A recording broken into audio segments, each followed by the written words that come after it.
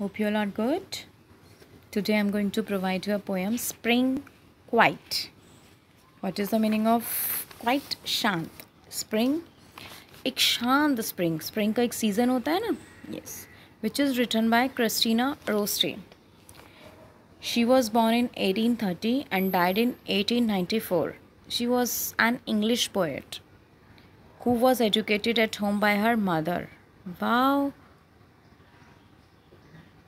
she was educated at home by her mother means उसकी मम्मा ने ही उसे पढ़ाया one of the most famous English women poets she was the sister of poet painter she wrote a variety of poems focusing on devotional writing and children's poetry she wroted a lots of poem which is based on the devotional and all of all the poem were related to children okay Now going to start spring quiet शांत spring तो इस poem से हम nature के बारे में बहुत कुछ रीड करने वाले हैं कि किस तरह से एक पर्सन होता है, वो अपना नेचर के साथ टाइम बिताना चाहता है नेचर किस तरह से उसको रिस्पॉन्ड करता है जब वो नेचर में जाता है। So let start gone were but the winter come were but the spring I would go to a covert where the bird sing means poet कहती है कि departure of winter and the arrival of spring where she want to go to a covered covered means an area of low bushes and trees so she want to go there एक covert का meaning रहस्य में ही वो भी होता है कि एक बहुत सीक्रेट प्लेस जहाँ पे उसको डिस्टर्ब ना कर सके and where the bird sing जहाँ पे पक्षी गुनगुना रहे हों और पेड़ हों बुशेस हों तो वो क्या कहती है कि जैसे ही विंटर गया है स्प्रिंग आ गई है तो शी वॉन्ट टू गो और बर्ड्स के चहचाने की आवाज़ वेयर द बर्ड सिंग जहाँ पे चहचाने की आवाज़ वही होती है ना, जहाँ पे बर्ड्स गा रहे होते हैं, गुनगुना रहे होते हैं तो वो एक ऐसी जगह पर जा जाना चाहती है जहाँ पर वो क्या कर सके टाइम स्पेंड कर सके नेचर के साथ नेचर की ब्यूटी को फील कर सके। ठीक है? ब्यूटी को कैसे फील करेगी जब पक्षी गुनगुनाएँगे? एक शांत प्लेस होगा तो ऑब्वियस सी बात है, हम नेचर के साथ अपना टाइम स्पेंड करेंगे। चारों तरफ़ पेड़ ही पेड़ होंगे थोड़ी थोड़ी बुशेज होंगी। तो इस तरह से राइटर अपने आप को डिस्क्राइब करती है इस पोएम में कि I would go to a covert where the birds sing okay so next paragraph where is the white white thorn saying a thrush and a robin sings in a holy bushes. White thorn means होते हैं small tree छोटे छोटे tree होते हैं जो heavily dense होते हैं. Clusters okay heavily dense होते हैं छोटे छोटे से tree sign a thrush thrush क्या होती है? थ्रश होती है a bird with a brown back and a spotted chest एक छोटी चिड़िया होती है.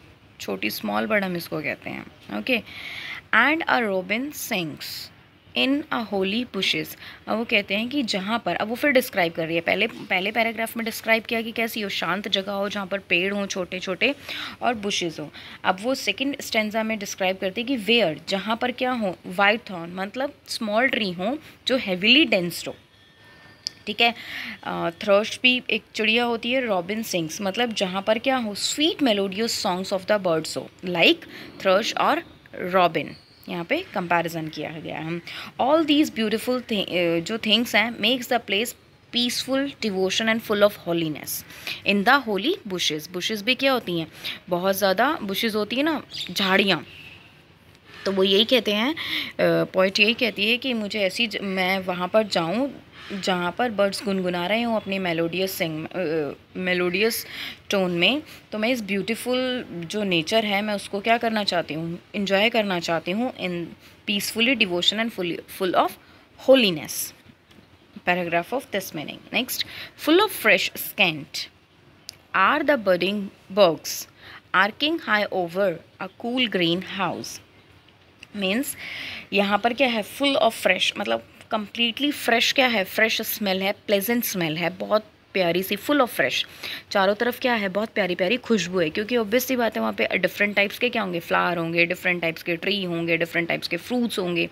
तो वो कहते हैं कि बहुत फ्रेश स्केंट है, यहाँ पे बहुत प्लेजेंट सी स्मेल है. Are the budding bugs budding क्या होता है ग्रोइंग प्लांट जो होते हैं, और बग्स क्या होती हैं बग्स भी यही होती हैं बड़ी बड़ी ब्रांचेस जिसको हम बोलते हैं. तो वो कहते हैं कि are the growing bugs okay arching high over arching high over means बहुत बड़े बड़े ट्री हाई हाई ट्रीज जिसको हम कहते हैं. A cool green house a cool green house means a house where growing with most और plants means एक heaven की फीलिंग अब उसको यहाँ पे आ रही है.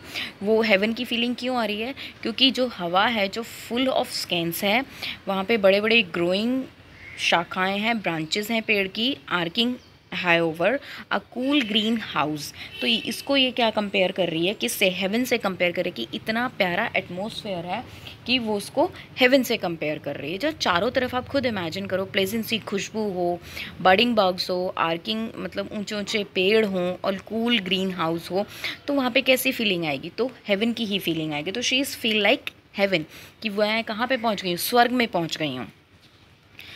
ठीक है? तो ऊपर हाँ next full of sweets full of sweet scents and whispering air अब जो वो हवा है मतलब वो कहते हैं फुल ऑफ़ स्कैंस यहाँ पे पूरे जंगल को कहा है। फुल ऑफ़ स्वीट स्कैंट जो पूरा का पूरा जंगल है वुड है, वो किससे है? Full of sweet scent mean scent means क्या होता है? प्लेजेंट स्मेल प्यारी सी खुशबू जो होती है, उससे भरा हुआ है।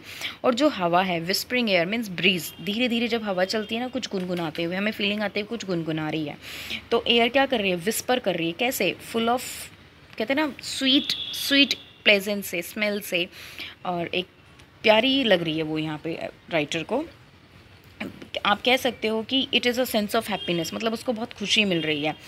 और which sent set means says softly we spread no snare snare में क्या होता है कि ट्रैप करना, किसी जाल में फंसना। तो यहाँ पे हम कह रहे हैं कि जो सीज़न है फुल ऑफ़ फ्रीडम का है। ये किसी के जाल में नहीं फंसता है। यहाँ पे इस सीज़न को कंपेयर किया गया है कि वो कम्प्लीटली फ्री है। कम्प्लीटली फ्रीडम है उसके पास। Says softly which is says softly we spread no snare यहाँ पे कोई जाल नहीं है किसी तरह का। हम अपने आप को स्प्रेड कर सकते हैं completely Here dwell in safety, here dwell alone with a clear stream and mossy stone. Dwell safety क्या होता है a place where we can live without with safety sorry एक ऐसी जगह जहाँ पर हम क्या रह सकते हैं जहाँ पर हम बहुत सेफ्टी से रह सकते हैं हमें कोई किस तरह का नुकसान नहीं पहुँचा सकता हेयर डवेल्व अलोन मतलब एक स्थान पर रहना, अकेले अकेले उस स्थान पर रहना। पॉइंट कहता है कि एक ऐसा स्थान है, बहुत सेफ़ बहुत सेफ़ प्लेस है जहाँ पर मैं अकेला रह अकेली रह सकती हूँ। विद क्लियर स्ट्रीम स्ट्रीम क्या होती है? नदियाँ। जो नदियाँ वहाँ पर हैं, कैसी हैं? क्लियर बह रही हैं क्लियर फ्लो कर रही हैं एंड मोसी स्टोन मोसी स्टोन मतलब बहुत सॉफ्ट से। तो वो कहती है कि एक ऐसा प्लेस है जहाँ पर मैं क्या कर सकती हूँ? यहाँ पर मैं अकेले रह सकती हूँ।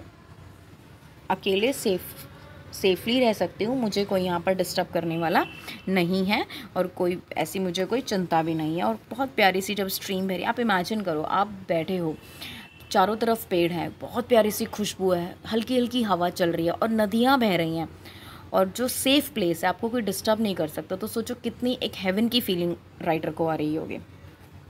Here the sun shine mostly shadily shine अब वो कहते हैं कि जो सन है, वो कैसा कर रहा है? शेडली अब डार्क शेडली मीन्स डार्कनेस की तरह शाइन कर रहा है। अब यहाँ पर क्यों इस तरह से कर रहा है? क्योंकि देखो ना, इतने ज़्यादा वहाँ पे ट्री हैं कि जो सन की रेज़ हैं वो ग्राउंड पर आ ही नहीं सकती तो इसलिए वहाँ पे जो सन की किरणें वो कैसी आएँगी? बहुत डार्क आएँगी, बहुत अंधेरे वाली आएँगी, क्योंकि वहाँ पे इतना थिक वुड है, इतना थिक जंगल है कि पॉसिबल नहीं है कि सन की रेज़ हर जगह पर पहुँच सके।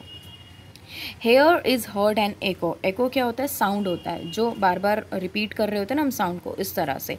Of the far sea the far of it be means वो कहते हैं कि जो साउंड है, जो समुद्र का साउंड है, वो बहुत अच्छे से उसे सुन सकती है साइलेंस के जंगल में। जो कि जो समुद्र है वो बहुत दूर है, लेकिन फिर भी वो क्या है? फिर भी उसको क्या कर सकती है? सुन सकती है बार बार अब वो क्यों सुन सकती है? क्योंकि एक जहाँ पर बहुत शांति होती है ना, वहाँ पर कोई दूर की चीज़ भी अगर चल रही होती है तो बहुत ज़्यादा क्या होती है? आवाज़ आती है। तो वो कहती है here heard and echo echo क्या होता है? जो बार बार एक ही साउंड को वो सुन रही है। Of the far sea the far of it be means वो बहुत दूर है और वो उसके साउंड को बहुत अच्छे से फील कर सकती है, सुन सकती है। ठीक है? Hope you understand well this poem इसमें पूरी पोएम में डिस्क्राइब किया हुआ है नेचर के बारे में। हर एक पॉइंट पे नेचर के बारे में डिस्क्राइब किया है। आप अपने आप को सपोज़ करो कि अगर आप जाते हो ऐसी जगह पर तो आपको कैसी फीलिंग होगी ओके तो इसके जितने भी वर्ड मीनिंग है, मैं आपको डिस्क्रिप्शन बॉक्स में प्रोवाइड कराऊँगी। आप उन्हें ज़रूर चेक करना okay hope you understand well this poem thank you so much